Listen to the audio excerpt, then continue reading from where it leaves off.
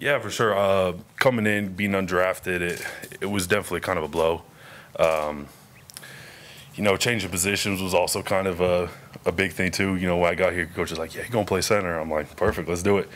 Didn't think I'd play center. Knew I was going to play somewhere interior because I didn't think of myself as a tackle. But my mindset was just, you know, just attack it, listen to everything I could, pick up as much I could from these older guys like Rodney and like everything Capes told me, and yeah, just took it day by day. No, I, at UCLA, no, I never, never even snapped the ball. Uh, I played guard for a little bit in uh, the spring, spring ball, but uh, was tackle the whole time. We didn't have a lot of tackles. Uh, every time we had a tackle come in, and they were like, "Yeah, you're going to go inside play guard," and it never worked out. So uh, me and Kolton, we we were the ones holding it down at tackle.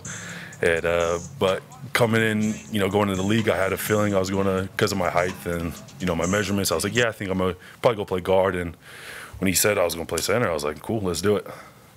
Andre, when you replace a guy like the person who's arguably most people think is the best center in the league, you kind of go two ways on how to accept that or attacking it yourself. Like, how do you choose to do that in terms of what he taught you, and then what the expectations will be when you begin to play?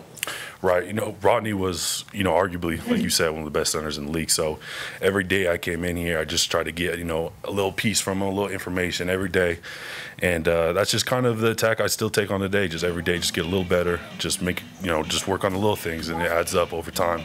Get a little better. So everything I learned for him, I'm still using today. Andre, when you when you come up kind of as, as a development player like you did, um, mm. the payoff isn't necessarily the game or short term type goals. Um, what were you focusing on to kind of get you through what can be sometimes a lonely type of proposition? Um, you know what? It's like I said, it was just day by day. It was just the little things. You know, working on. You know, I'm gonna go out to practice and I'm gonna work on this footstep for this play. I'm gonna work out on these calls for these certain situations. Just the little stuff, man. They they pay off huge in the end run. That said, does it feel different now being?